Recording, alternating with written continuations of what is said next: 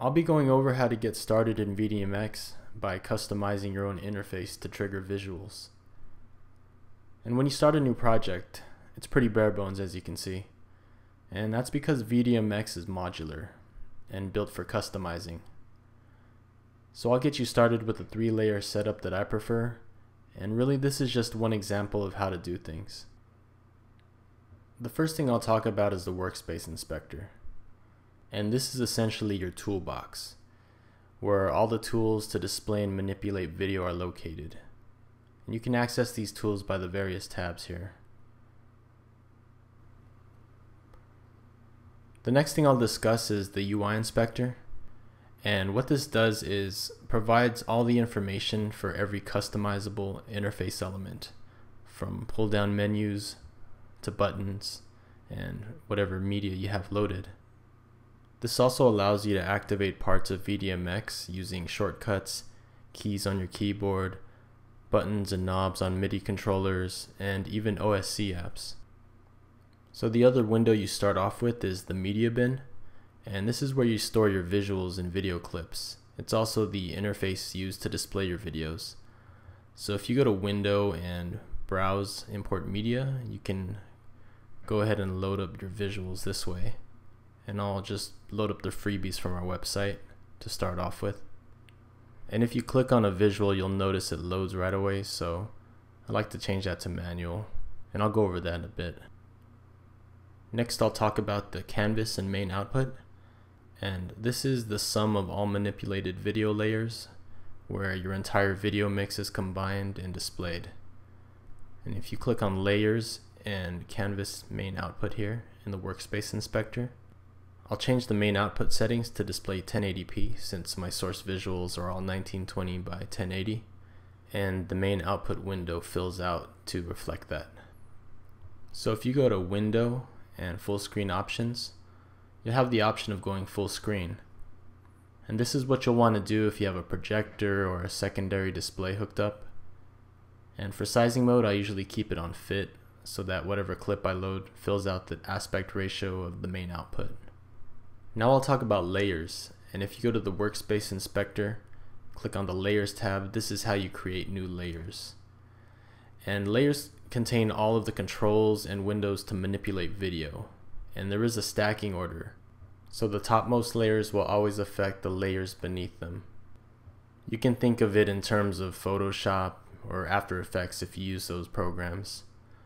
By default, layer 1 is already created, so I'll remove these two and I like to rename my layers so I'll call this one top layer. Now I'll customize the interface for the top layer and if you click plugins in the workspace inspector and plus you can add a preview window for that layer and I'll rename this preview window to top layer preview. I'll reposition the top layer preview window to the top left here and resize the window and you'll want to activate it by clicking on this pull down and hitting top layer. So let me adjust this window a little bit. And if you go back to the workspace inspector and click on layers we'll talk about the different interface elements here. And the first being the layer source. This displays all the clip information and provides control over playback. So you have a transport control here you can adjust the rate and the speed. This is where you'd also reverse the clip or slow it down. There's also this loop tab here and you can change it to a ping pong style, cut to black or keep it a, a traditional loop. Next is the layer effects window and this is where all our effects are contained. And keep in mind that the effects applied here are specific to this layer. To add an effect, you'd click on this pull down menu here and choose your effect. And you can use the sliders to adjust the amount of that effect.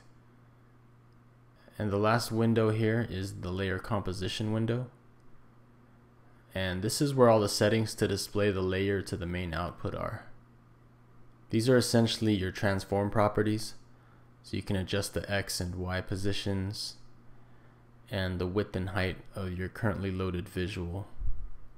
Now I'll customize the layer interface and if you click on these two squares you can release the windows and reposition them wherever you like.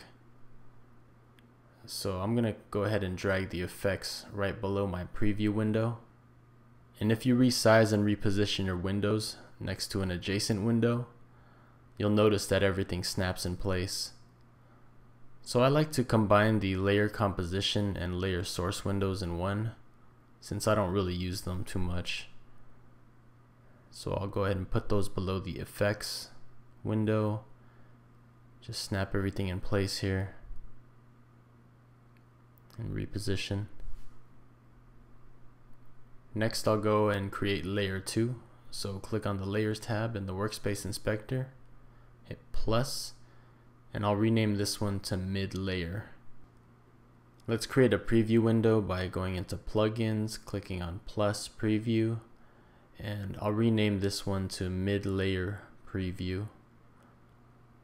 Let's activate this as our mid layer preview by clicking on mid layer in the pull down.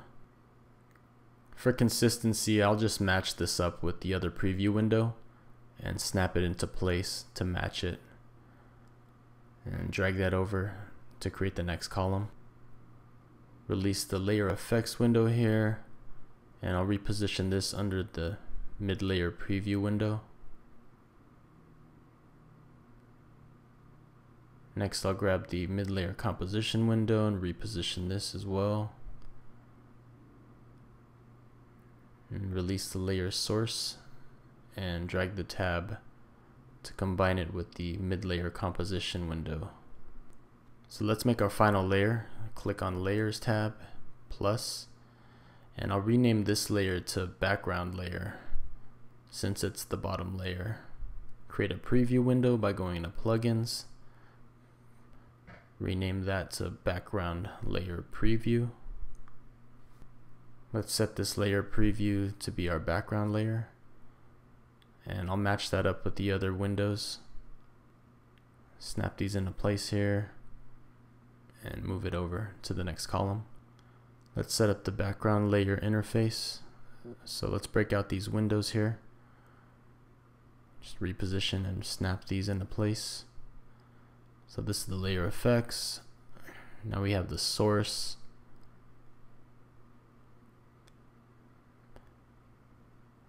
And the background layer composition window, which I'll just grab the tab and combine it with the layer source. The last thing we'll do is create media bins for each layer. So if you go into the workspace inspector and click plugins, first let's rename this media bin to top layer media bin. Click on plus, media bin, and this one is our mid layer. So let's call this mid layer media bin. Okay, let me just reposition this. Snap it into place here. And create the final layer media bin. And this is the background layer media bin. So this completes the layer interface. And let me drag it right below the layer composition here and just reposition it so it fits properly so there's one option I'd like to change and that's to not view the file names for my video clips. So if you go to plugins and click on the media bin for the top layer in options, you can choose icons only. And I'll do that for each one here.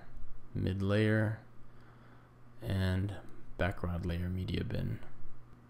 We want the media bins to trigger clips on the respective layers. So if you click on this pull down and choose the layer, now it should be associated with that layer. So I'll change the trigger type to manual since it allows more control. By default, if you just click on a clip, it'll automatically load in.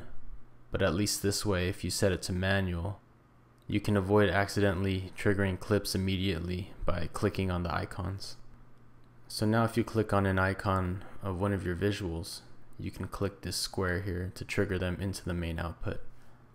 I'll briefly go over the layer preview settings and if you notice in the preview windows the playback is kind of choppy. So if you click on this tab on the top left you can change the frame rate. And if you set it to 30 you'll notice it plays in real time. But it does take up system resources so you might just want to keep it at 10. The button at the top right of the preview window is your blending mode. There's a lot to choose from so you might just want to play around with it, see what works best with your visuals. This is multiply on the mid layer. It's a bit dark. let me change that. Let's try overlay. Still a bit dark, so what you can do is adjust the layer opacity by clicking and dragging the sliders to the right of the preview window and you can blend it a lot better that way. The last thing I'll show you is how to apply effects on a layer and you'll want to turn off replace so that you can stack effects in each layer. So let's try a halftone effect and that applies a halftone texture right on top of your visual. Um, let's change the colors here by using false color and this is somewhat of a tint effect. If you want to apply effects on your main output, you have to go back to the workspace inspector and click on layers. Then click on canvas and main output and the canvas and main output effects show up and you can break that window off, place it anywhere. So any of the effects that are applied on the main output are applied to the entire mix. So let's go with the mirror effect and distortion. So now the layers combined are mirrored as you can see here. I'll go to full screen so you can see it better. Hopefully this helped you get more familiar with VDMX and now it's up to you to unlock its potential. Visit our website at docoptic.com. All the visuals you've seen today are available for download on our website along with additional training and tutorials. Thanks for watching.